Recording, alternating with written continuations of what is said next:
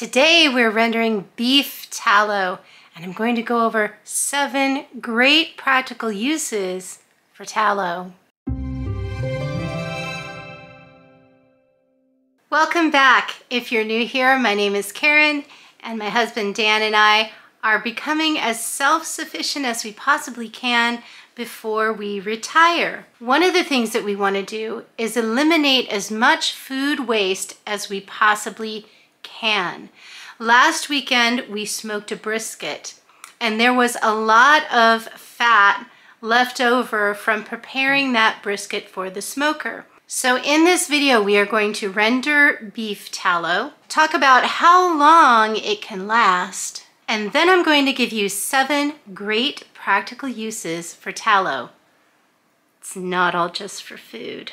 I ended up getting three to four pounds of usable beef fat to make tallow.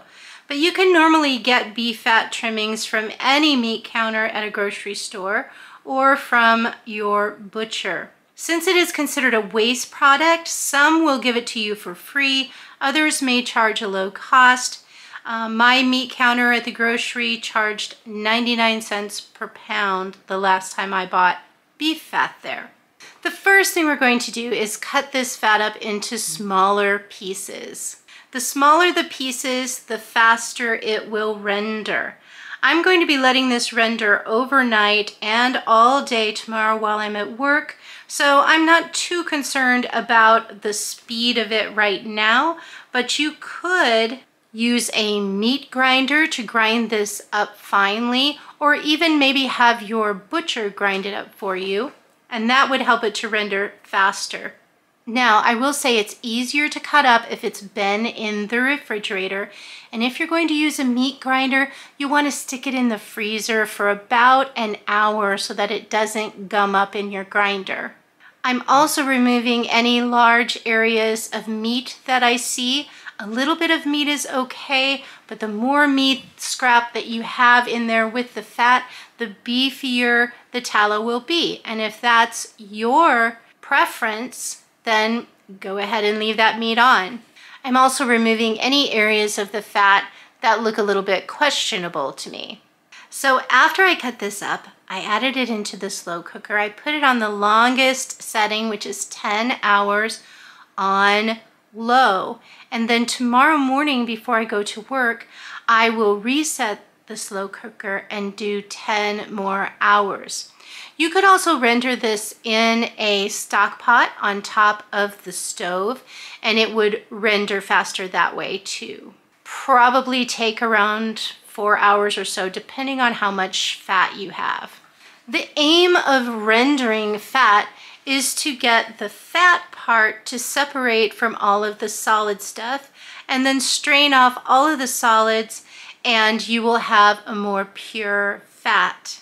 If you want a more purified, odorless, really white tallow, let's say you're going to be making some candles or making some soap with your tallow, then you would want a more purified version. So if I were doing that, I would add a little bit of water to the slow cooker so that the fat wouldn't brown and burn. And then I would also add two to three tablespoons of salt because salt helps to pull out impurities and things in that fat. But I'm gonna be using this batch of tallow for cooking. So that doesn't matter to me and I'm not gonna do that this time. When I came home from work the next day, this is what I had. Now I have already removed a whole jar quite a bit earlier so that I could show you what it looks like after it's cooled down. I could render this a little more, but I'm going to go ahead and call this good because I can make some great cracklings out of the solids that are left. So now it is time to remove all of the solids. I have lined this strainer with cheesecloth and that will help to strain out even the more fine solids. And don't throw away those solids because they can be used to make some delicious beef cracklings, which I'm gonna be doing at the end of this video if you wanna hang out and see. So I'm just gonna let this drain for a little bit. Once we're done straining, we wanna jar it up in some clean jars that have airtight lids. This is a good use for canning lids that you've already used once. Go ahead and use those on your tallow jars. Or if you have saved something like spaghetti jars or pickle jars um, that have the, the lid with the rubber seal around it, this is also a good use for those jars you've been saving. But you do need that airtight seal, especially if you're not going to refrigerate or freeze the tallow.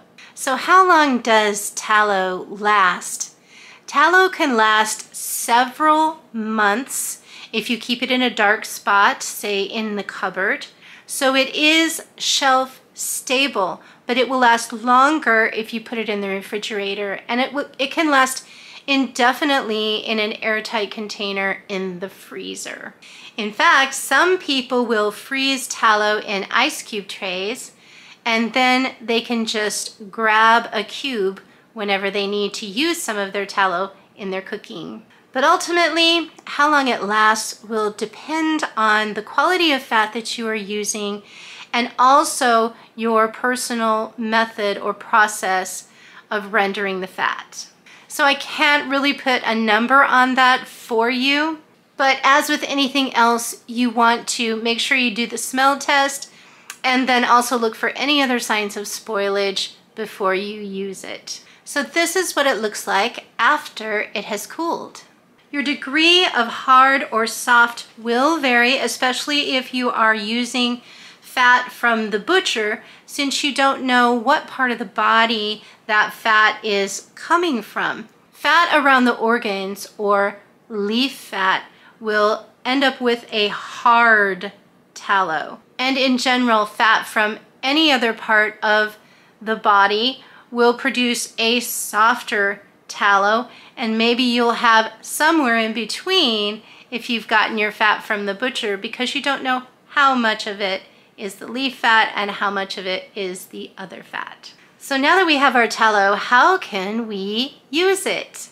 The first great practical use for tallow is something I alluded to earlier, and that would be candle making, soap making, and even for skincare. A balm made from tallow is really good for irritated skin. There are many recipes out there for balm made from tallow, but in general, you put it on the stove and you heat it until it's just melted. You add some essential oils and then you can put it in containers. And there are lots of places online that will show you how to make candles and soap from tallow also. The second and most obvious use for tallow is in cooking. The great thing is that tallow has a high smoke point. You would have to get it up to 400 degrees or maybe even a little more before it would start smoking. So think sauteing, searing, and deep fat frying are all really good uses for tallow and a lot healthier for you than using seed oils. So any place that you would use oils to fry something, you can use tallow instead.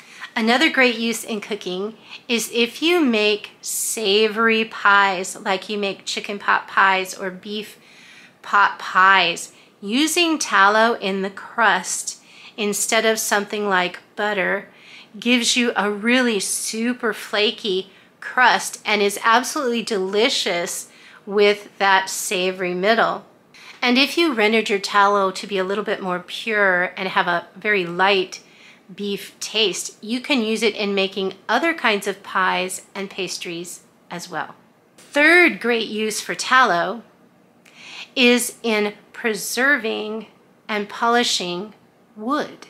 You can take some tallow and mix in a few drops of lemon oil and you will have a nice polish for your furniture. So you would rub it in, and then take a clean cloth and buff it. The fourth great use for tallow is in leather conditioning. So just like with the furniture, it will keep leather from cracking and it will keep it supple and soft. So try some tallow to condition leather. The fifth great practical use is an interesting one. You can use tallow as a fire starter. So if you just take a, a small square of cotton cloth, you put a dollop of tallow in the middle, then you bring that up and tie it with a cotton string. It makes an excellent fire starter. Number six is with mechanical issues. If you are in a pinch and something on your machinery or your tool um, or a gear is stuck, you can use tallow as a lubricant. And the last practical use is in rust prevention. It can help prevent rust on anything metal. So if you have tools that you're going to be storing for a long time, you can rub them with tallow, wipe them off, and then they will, should not develop any rust. So great for that too.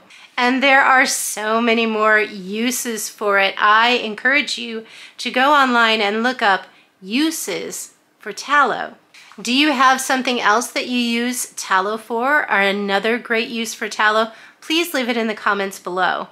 If you are still here and watching, I appreciate you. And now I need to go and make some beef cracklins with those leftover beef solids.